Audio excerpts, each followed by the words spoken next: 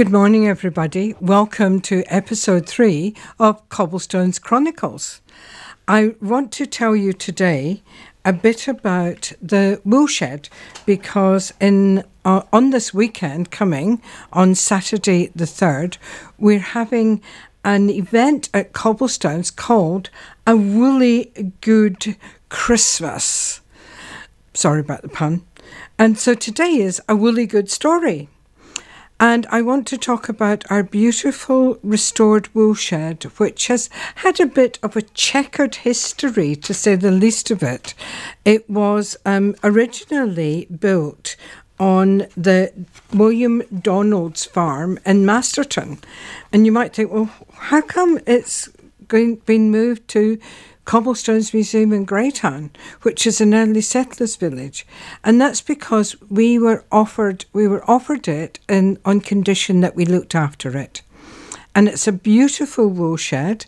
I'm for those of you watching on TV, I'm about to show you a picture of it, but um, it's it's a very old. It was built in around about um, around about 1860, 1870, something like that. We're not absolutely sure. And it has um, it's had a long history of use. It was used on the Big Donald Farm, which was out, just outside Masterton, where the Solway Showgrounds is these days and it has we even have built a dunny right next to it. And the next time you come to cobblestones make sure that you go and investigate the dunny. All you need to do is just push the door and get a surprise. So inside the wool shed we have the shearing place and we have a number of um, bits of shearing equipment, which is old, the old-fashioned way they used to do it, and we also have blade shears. And um, on the third of on Saturday, the 3rd of July, we're actually going to have a demonstration of blade shearing, which is fascinating to watch. So it's hand shearing with the blades. It's just uh, amazing and it's so skilled. We're very lucky to have somebody who's going to come and do that. And we've got a few sheep. We've also, um, in the wool shed, we have a Donald wool press. So William Donald, who set up and built the, he set up the farm and built the wool shed on his farm. He was actually a qualified veterinarian and he left London in June 1842 with his wife Hannah, their seven month old daughter Marianne, and a small flock of Romney sheep. His Romneys were the first sheep, Romney sheep to come to New Zealand. And he had a shepherd to look after the stock. Um, when he, during the long sea voyage, he befriended a chap called Barney Rhodes, who, when they arrived, leased two large runs in the Wairarapa, and he appointed William as his manager at Pencarrow. So, in 1844, after negotiating with the local iwi, Donald William Donald purchased a one square mile block from Rhodes, and what seems to have been a lease to buy arrangement. We're not too sure about it, but it was situated on Judd's Road in Masterton. So while the um, while William Donald built the woolshed, um, the family's first home was built by the Tangata Whenua in the raupō bush house style. The Donald family, with its eight children, were made welcome and became an integral part of the community, with William serving as inspector of sheep for the Wairarapa. William was known for his leadership and very genial disposition. He was so well liked and respected as captain of the Wairarapa cavalry that when he retired due to ill health, the corps disbanded. He died in 1885, and William's, William's children took over the farm. William's youngest child, called Donald Donald, who was born in 1854, assisted his father for some years and ran his own farms, but he found his calling as an inventor. And using his practical farming background as inspiration, he invented and developed practical items as solutions to the hardships the early settlers experienced in their day to day agricultural work. His most well known invention was the Solway press, now referred to as the Donald wool press.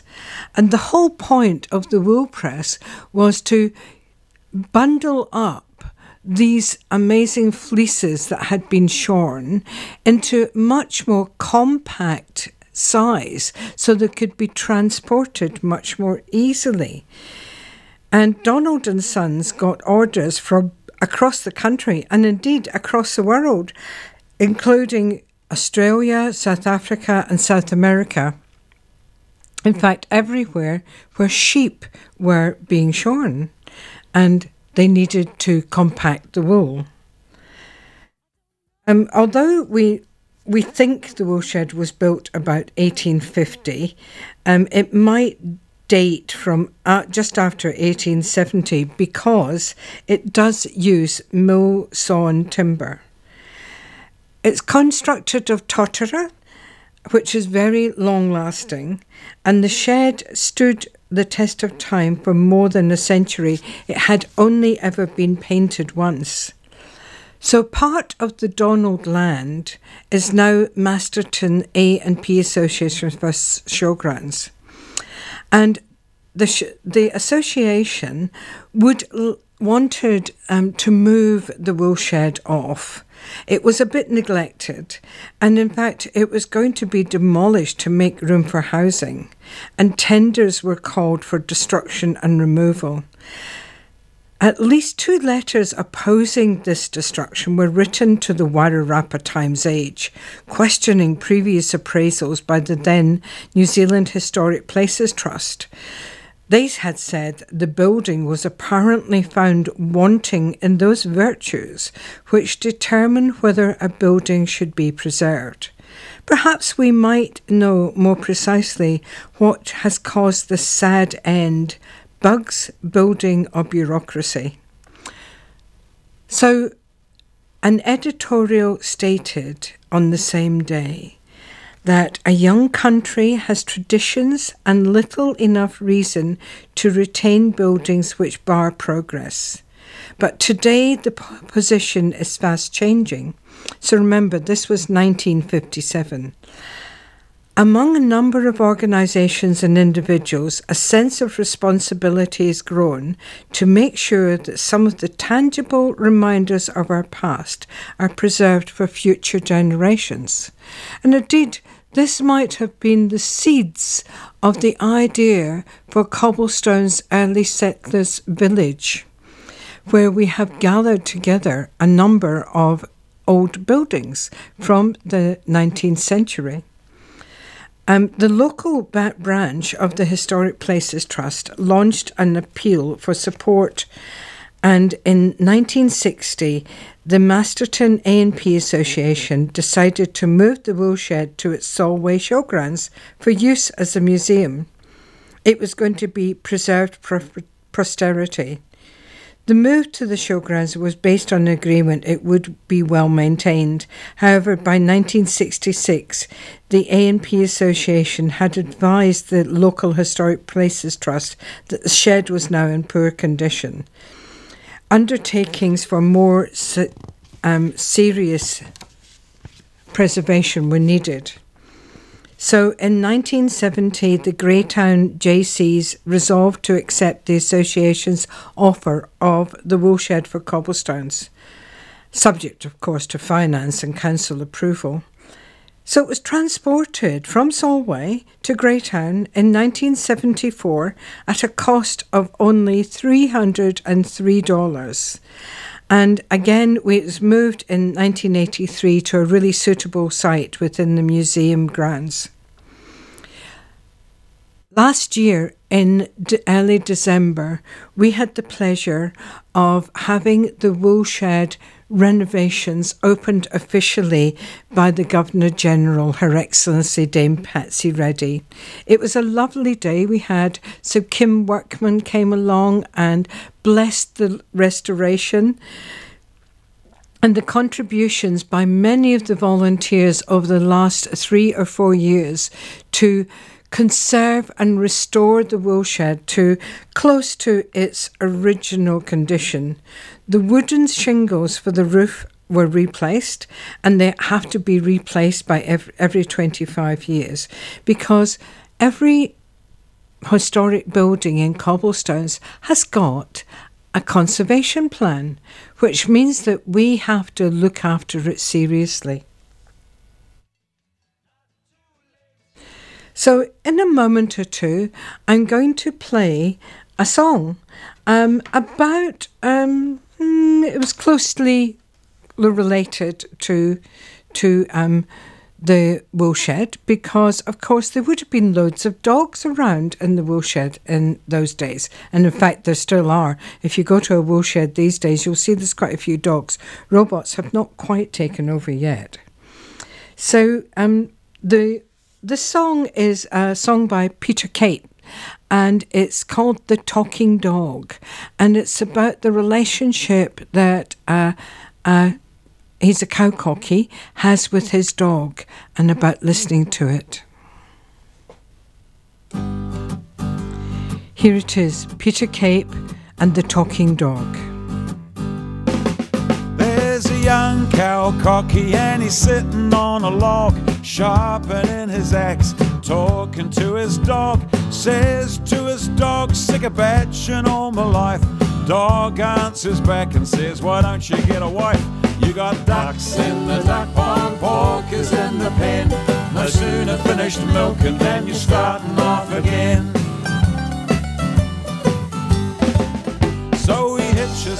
Buggy and he goes down to the hall. Lots of lovely crows, they're lined against the wall.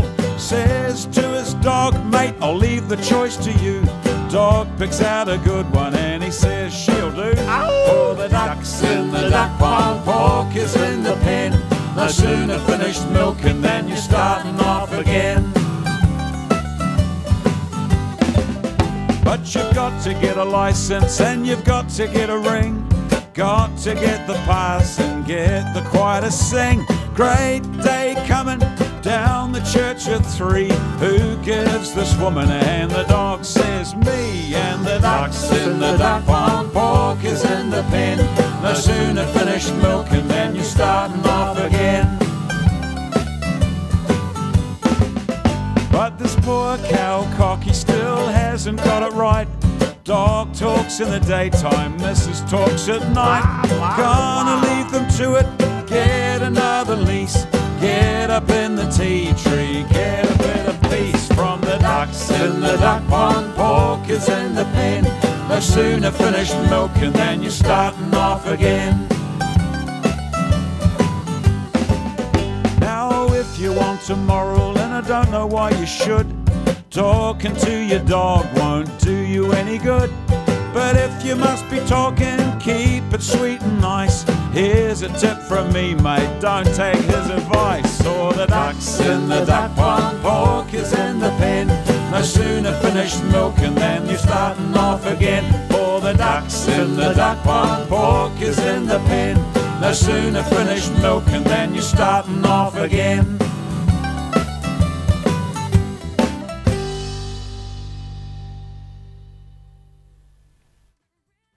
That was Peter Cape's song, The Talking Dog. Isn't it delightful? So, um, a slight change of subject now. I just want to go back now to our to Cobblestone's stables because, of course, the stables were where the um, the carriages that came over the hill stopped for the night, and they actually um, stopped there because often in um, places uh, in Europe, and in America indeed, what would happen was the horses would be changed. So the stagecoach would, or the carriage would come rolling into the, the stables. The horses would be changed over to fresh horses while the passengers had some refreshments. And then they would, the carriage would, or the stagecoach would carry on. But in fact, at Cobblestones, because there weren't it wasn't really a posting stop. It was a important stop because the everything would stop there. The horses would be resting, and then they would either carry on up the coast towards even as far as Napier and Palmerston North, or they would go back over the Rimutaka Hill. So there was a, a, a large pub owned by Thomas Kempton and his wife, just opposite where Cobblestones now is. And everybody would disembark from the coach and get into the pub and have a meal and a, a bed for the night, I suppose. And then, um, and then they would, the horses having been rested, would carry on the journey. But um, we have in cobblestones a number of carriages. And it wouldn't be the same without our collection of carriages because we've got a butcher's cart, we have harness, gear, and tools. And of course, last time I was on this program, I talked about the Pride of the Valley. But um, I think the interesting thing to talk about is um, the there was um, the naming rights. Because, as we all know, naming rights are sometimes a touchy and sometimes legal issue. However, back in the 1850s, 60s, 70s, there was a more relaxed approach to the name of Hastwell's Wellington to Wairarapa coach service. At one time, it was called Cobb and Company, owned by a Mr. Forrester, and then Messrs. Wallace and Thomas Ray ran a four horse coach driven by Mr. Ray. However, Cobb and Co. was the name of a larger Australian business, and um, Hastwell had been absent in for a year in England, and when he returned, he was going to set up business again in opposition to the four horse coach, which of course was quite fast. According to Gareth Winter of Wairarapa Archives, Hastwell won the mail contract again and bought out his competitor, Mr. Forrester. Unfortunately, Mr. Hastwell was was ill and he died in um, he he died in oh I can't quite remember now but anyway he died not long after he set up the the service. And the chap called James Macara took over the coach service in the name of Macara until 1888 so that's a little bit about the coaches. And I just want to um, remind everybody that we have we have a number of coaches at Great at Cobblestones, and at the end of July, on the 31st of July, we're having a, an open day where we're going to be celebrating early modes of transport. And um, I just heard this morning that Greg Lang, who's the Mayor of Carterton and is also a wheelwright, is very kindly going to come and do a demonstration of wheelwrighting on Saturday, the 31st in the afternoon. So that's going to be really exciting because we, we don't often have this opportunity. So, as I said, opposite Cobblestones, there was a pub, a hostelry, which was very well known and very well regarded in the Wairarapa, and it was called the Rising Sun, and it was a proper pub. And I want to play you another song now, which talks of, because the rising sun, I believe, did eventually burn down. So this song is called The Day the Pub Burnt Down. Pull up a stump and lend an ear, and a story I'll relate About a sinful waste of beer I will elucidate. I'll tell of how calamity struck Wapakewee town and caused a gruesome tragedy the day the pub burned down. We all had gathered in the bar upon that fateful day. By horse and foot and motor car, we all had made our way. While listening to Manuka Jones, New Zealand's finest liar, we heard a cry that chilled the bones. The flaming pub's on fire. There'd been a drought for weeks and weeks, the wells and tanks were dry. No water flowed along the creeks, we had no town supply. The blazing sun without relent turned all the green to brown. Imagine our predicament the day the pub burned down.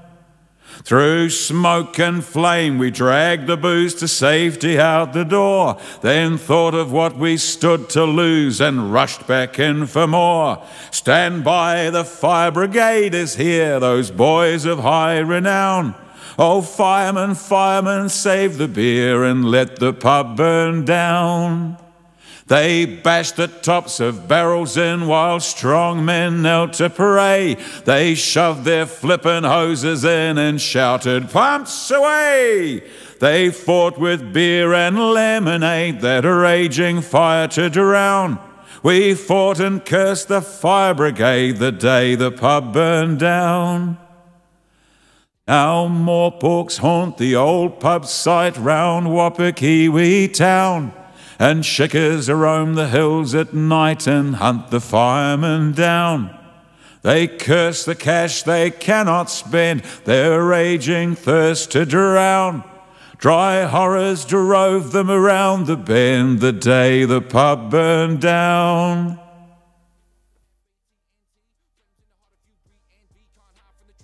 So that was a Peter Cape song sung by Mike Harding the day the pub burned down. It must have been a very sad day. I can imagine the consternation that would have been going on. Well, that's almost the end of the program for today. So I want to say thank you for listening or thank you for watching. If you want to know more about cobblestones, you can send an email to Cobblestones Museum Greytown and let me know what you want to do. My name is Janette Wallace Gedge, and I'm delighted to be here talking to you this morning. Thank you. Bye.